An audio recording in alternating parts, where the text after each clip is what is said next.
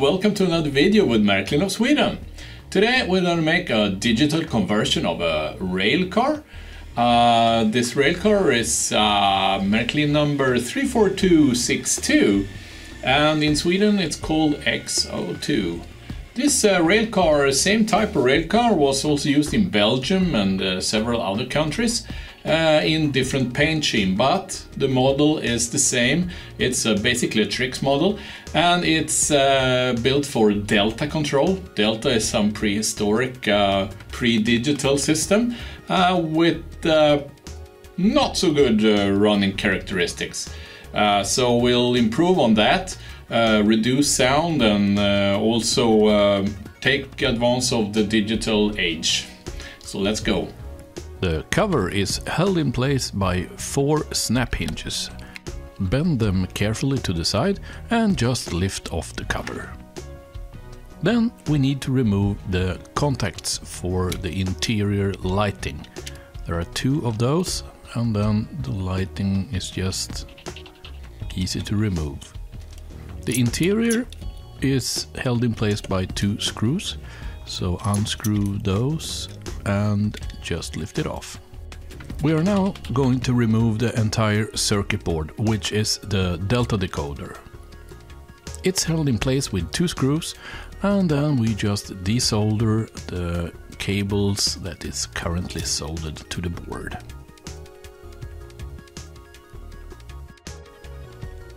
After that, the PCB is easy to remove like this. The new decoder will be held in place with a double-sided mounting pad. Even if you're using a miniature decoder, there is only one spot where it will fit, and this is the spot. So now I'm pushing the decoder in place. This is the Märklin decoder 6760, which really is a kit which contains from motor parts which we will not use for this conversion. We'll only use the decoder. We're starting off by soldering the blue and green motor cable to the motor terminal. Be careful not to use too much heat on this terminal because the plastic will melt. Then it's time for the brown uh, ground terminal, which is connected to the wheels, and the red cable, which goes down to the slider. So, if you're happy with uh, using the lamps, just leave them as they are. Uh, you can add another one paint the glass of that one red, and you will get that lamp as the tail light, the rear light. Uh, I'm gonna replace these with LEDs since uh, the lamps are quickly adding up uh, the amount of current needed just to power the lamps. So I will replace them with LEDs and thereby reduce the power consumption with about one tenth. Uh, so that's what I'm gonna do now. We're replacing the lamp and the socket with LEDs. I soldered two 3mm uh, diameter round LEDs to each other with a common anode. The LEDs will be held in place with uh, also double-sided adhesive pads and those will also work as an isolator against the chassis. Here I've also attached or connected two uh, diodes and the serial resistor to the common pole.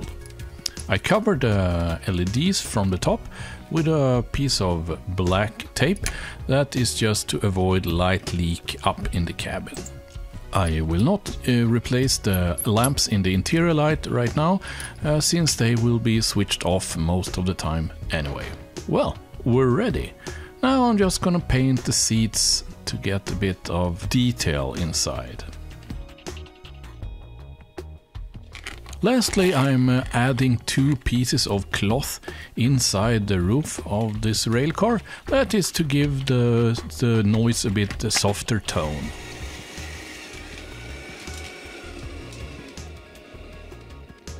All right, so we got the sound level down, uh, we got digital control of the interior lights as well as uh, adding the uh, tail light, the red tail light. Uh, we got a bit of softer tone on the on the noise with the, the cloth inside, and also got some paint onto the the seats. Uh, uh, this decoder I use is not so good. It's mostly just cheap Uh, this motor, which has a, a, a Schwungmasse, a, a, special motor with a weight, a rotating weight, uh, really needs a more advanced decoder. I would uh, uh, recommend that for you who wants to put more money into this project. Uh, then you will get much better running characteristics than this. Well, that's about it for today. Thank you very much for watching the tutorial. If you like it, please help me by giving it a thumbs up. Uh, if you're looking for some other tutorial or other things uh, you want to see, please check out mrrtutorials.com where you will have a listing of all of the different videos available under each topic like landscape and uh, scenery, technical stuff, all that. Alright, until next time, take care and see ya!